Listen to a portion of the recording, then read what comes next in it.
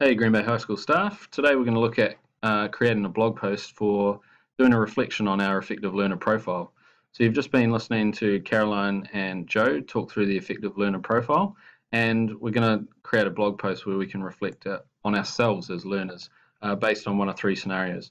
So what you're going to need is you're going to need this slideshow, um, you're going to need the blog, and you're going to need the Google Doc with the um, code that you'll need to paste into your uh, blog post. And if you like, you'll be watching the video that's on slide 9 of this uh, presentation, or you're viewing it on YouTube as well.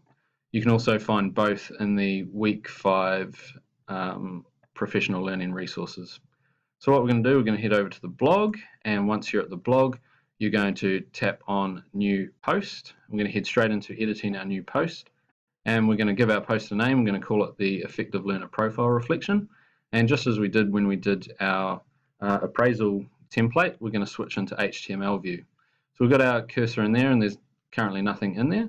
So we're going to switch over now and we're going to go to that um, effective learner profile reflection blog post code Google Doc.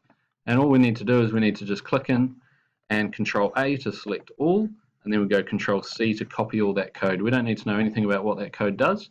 We just need to now go back into our blog post, click in and we go control V and we've entered all that code we're just going to scroll, scroll back up to the top and if we flick back into visual mode you'll see that our uh, blog post is all ready to go. The last thing we need to do before we start actually reflecting and filling in that blog post is to head over to the categories and tags.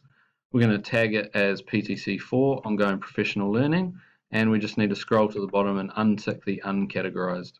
That's not a crucial step but otherwise you're going to end up with heaps of posts also categorized as uncategorized.